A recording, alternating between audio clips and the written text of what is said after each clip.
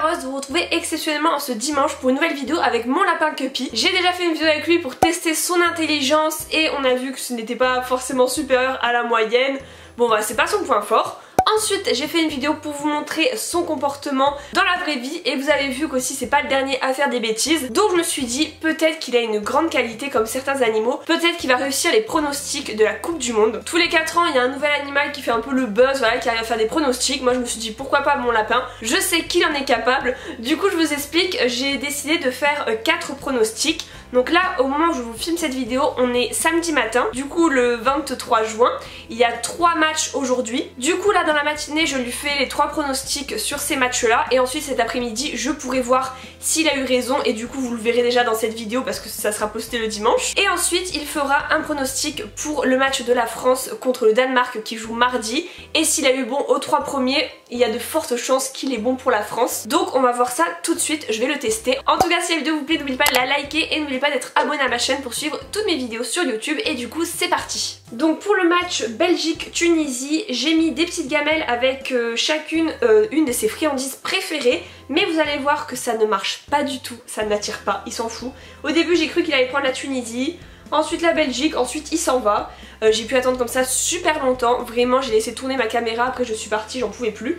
Donc euh, voilà, il faut savoir qu'il n'y a aucun trucage, voilà, j'ai coupé au montage parce que des fois c'était trop long, mais euh, vraiment chaque équipe est, euh, est au même niveau. Et ensuite quand j'ai rajouté des fans de radis, là il s'est enfin décidé et du coup Cuppy a voté pour la Belgique.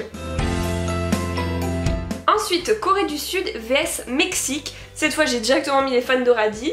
Et vous voyez qu'il hésite, qu'il réfléchit, qu'il se concentre bien sûr. Il fait des petits allers-retours, il attend. Moi, je suis bien patiente.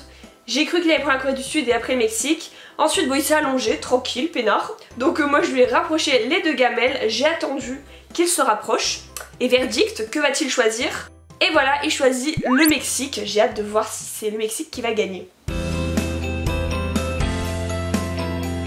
Troisième match de la journée, c'est Suède-Allemagne. Donc là, pareil, il s'allonge, donc euh, bon, j'attends qu'il se lève. Et là, tout de suite, il n'y a pas trop d'hésitation, il se dirige vers l'Allemagne et c'est là où direct bah, il mange les friandises. Donc là je pense que l'Allemagne va battre la Suède à plat de couture vu comment il n'hésite pas du tout. Je dis ça j'en sais rien, ça se trouve c'est complètement la honte quand je vais poster le lendemain.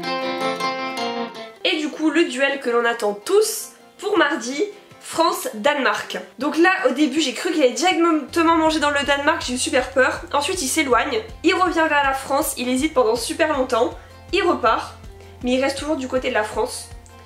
Donc là vraiment gros suspense. Et à la fin, il saute sur la gamelle de la France, il commence à tout manger et tout. Donc c'est la France qui va gagner mardi. Voilà, du coup normalement la France devrait gagner mardi, on croise les doigts. N'hésitez pas à me dire dans les commentaires quelle équipe vous supportez pour cette Coupe du Monde 2018. Je vous retrouve jeudi pour une nouvelle vidéo, je vous fais de gros bisous et à bientôt.